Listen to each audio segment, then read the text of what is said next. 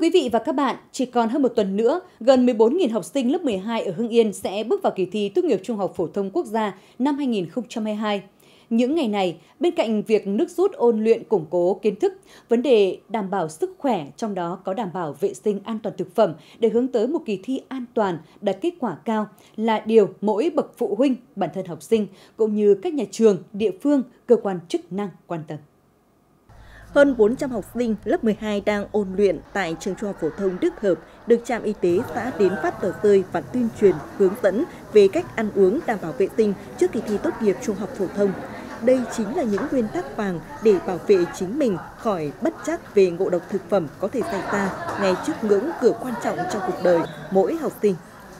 thực phẩm không đảm bảo thì chúng ta có thể bị đau bụng hoặc là chúng ta không thể ôn tập tốt được cho kỳ thi. Và em đã trải qua 3 năm cấp 3 học online thì đây là một giai đoạn bước ngoặt trong cuộc đời của chúng em. Ngoài việc tôi luyện kiến thức thì chúng em cần đảm bảo những thứ như an toàn giao thông, an toàn thực phẩm để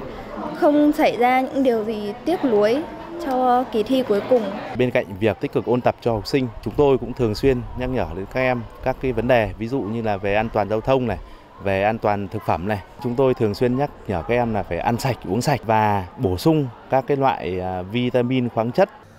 Chi cục Vệ sinh An toàn thực phẩm tỉnh đang giám sát hướng dẫn tất cả các địa phương để đảm bảo an toàn sức khỏe cho thí sinh tại 31 điểm thi trên địa bàn tỉnh. Năm nay cơ bản các thí sinh sẽ thi tại điểm trường mình theo học, không phải đi xa, ăn trưa tạm bỡ tại các hàng quán gần trường. Tuy nhiên, vấn đề hàng quán bán đồ uống giải khát cạnh điểm thi cần được ngành chức năng kiểm tra giám sát chặt chẽ, bởi đây chính là mối nguy mất an toàn thực phẩm cao hơn trong mùa hè.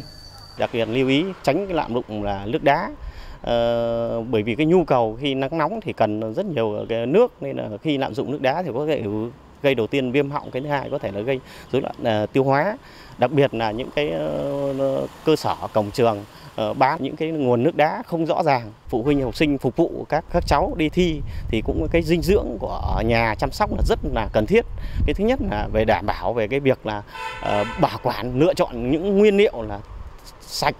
uh, tươi ngon và được chế biến ngay trong ngày. Ăn uống là chuyện thường ngày nhưng sẽ trở nên hết sức quan trọng trong những thời điểm quyết định của cuộc đời. Đảm bảo an toàn thể trạng, thể lực cũng chính là điều kiện để mỗi thí sinh phát huy hết trí lực cho kỳ thi hướng đến một kết quả tốt đẹp sau chặng đường 12 năm đẻ thách.